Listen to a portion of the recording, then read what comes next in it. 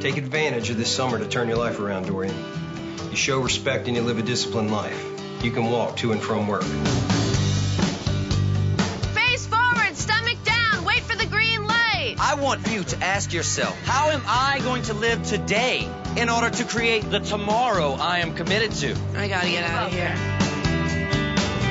You don't have to go to college to get an education. To be a doctor, you have to go to college, Mom. I have to come up with $12,000 or I lose my spot. A lot of you, a lot of authority. It's a lot of blowjobs. I kind of need a ride. I'll give you a hundred bucks. You should think about going to business with me. And we split profits 50-50. Ben, Grace, Are those the kind of people that you usually hang out with? you want me to just wait in the car? Is Grace here? You can come in if you want to. I just want to know what you see in this guy. Is it that pseudo soulful look in his eyes when he's just really staring at nothing? Dude, she's 15. dude, get out of here.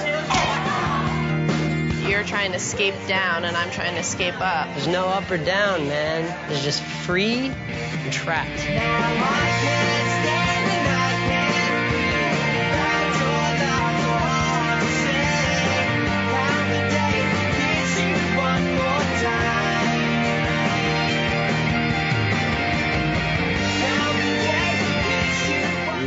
Like a date?